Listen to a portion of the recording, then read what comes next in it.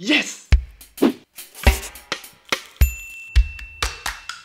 What's up guys, it's Alex. Today I'm showing you recipes using rice paper, but they go way beyond the classic spring roll.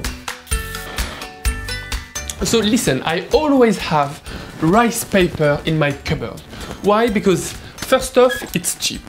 Second, it lasts forever, almost forever. Then uh, it's really easy to make recipe with this stuff. And also it's really versatile. You can make tons and tons of recipes with rice paper. I know what you think, thanks to this guy it's gonna be uh, spring rolls every night of the week. I, I finally have 11 creative recipes that use rice paper way beyond the classic spring roll. Let's do it. 1. US chips or UK crisp as you want. Totally weird yet the most easy recipe ever. Just warm up some oil and then carefully dip the dry rice paper sheets in.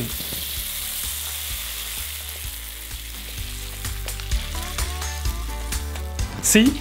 It takes about a few seconds tops. They don't go only crispy, no.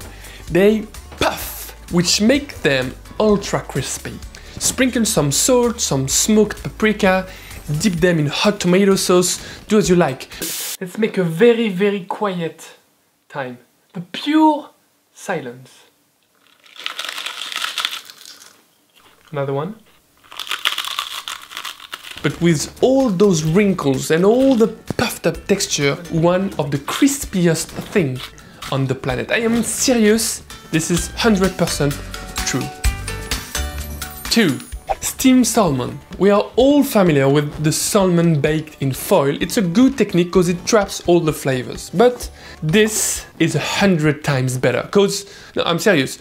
Cause unlike with the foil, you can actually eat the wrapper.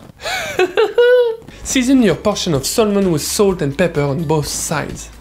Get the seasoning in the fish. Then set it aside. Use three rice paper wrappers and dampen them with a wet kitchen towel. This way they won't be totally mushed, they will still be usable. Now place them in a flower pattern. Start with shredded green cabbage. Then some strips of carrots, mushroom slices, the piece of salmon, some ginger strips, just to get the flavors in the flesh, a few leaves of dill or any herbs you have, bits of chili, a good dash of soy sauce, and a nice drizzle of olive oil. So now you want to wrap this carefully, not too tight, but you don't want any leaks either.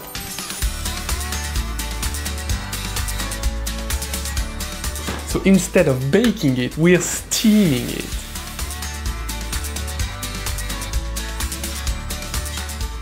I would say it's about 8 to 10 minutes to get it still moist inside, or you know, 15 minutes if you like it fully cooked. No steam? No problem. Just use the microwave oven. In that case, don't cook it more than 3 to 4 minutes. At the end, you'll get that piece of art. Moist and flavorful, with all the, the flavors from the veg and the ginger, everything is nicely packed, so it's really intense. And of course the best bit is that the wrapper is just part of the dish. I'm loving this idea so much. I mean it's so good I think I will probably use this trick uh, in many other videos. Oh it's so juicy and so moist, it's, uh, it's almost an advertising. Except that of course I'm not selling any products. Apart from my t-shirt of course.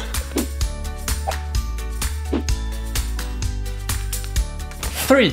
Ramen! So let's say you are out of your staple food, aka ramen noodles, but thanks to the French guy, you have tons and tons, sorry, of rice paper wrappers. Slightly damp rice sheet with a wet kitchen towel to soften it, but not too much. Wrap that with an oily kitchen paper just to prevent it from sticking. Now roll it tight and cut it into slices. You can unroll that easily with a chopstick. Wait, if you have a pasta machine with a noodle attachment, that's even better. Slide those wrappers in and watch the magic happen.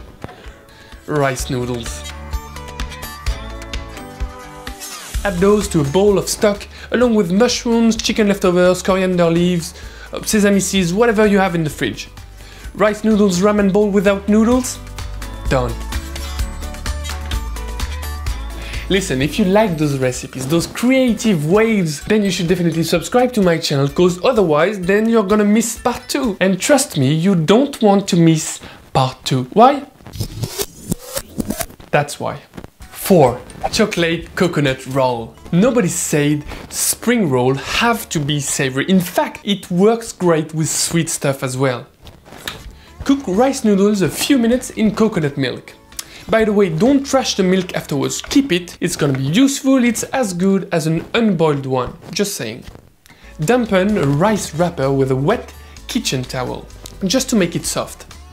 Add banana strips in the center, add the rice noodles, apple strips or any fruits you like, chocolate chips, a few crushed cashew nuts, a drop of the coconut milk and then wrap it like a spring roll.